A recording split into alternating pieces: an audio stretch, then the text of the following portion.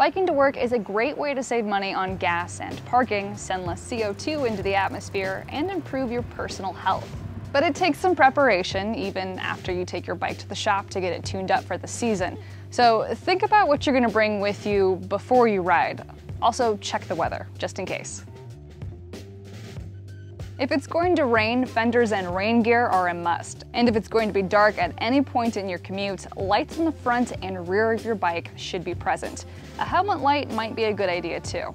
Here are a few other things you may want to bring. Your helmet, sunglasses, a tire pump with a gauge, a change of shoes, your wallet, something to eat, at work of course, a change of clothes, and anything else you think is important.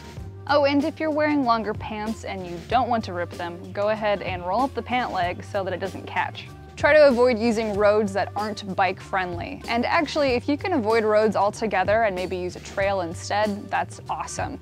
But more than likely, you're going to have to share the road with cars at some point in your commute. So it's important to follow the rules of the road. Wear your helmet, stop at stop signs and red stoplights. Signal when you're making turns, stay to the right of the road, avoid using sidewalks, especially in business districts. On bike paths or sidewalks, alert pedestrians before passing them. It could be terrifying when a bike passes you. Lastly, remember to use hand signals so that cars know what you're planning to do.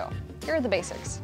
For a left-hand turn, hold out your left arm. For a right-hand turn, hold out your right arm. If you're stopping or slowing down, hold your left arm out to your side with your hand near your waist. It's a lot to keep track of at first, but don't worry, it gets easier with practice, just like riding a bike.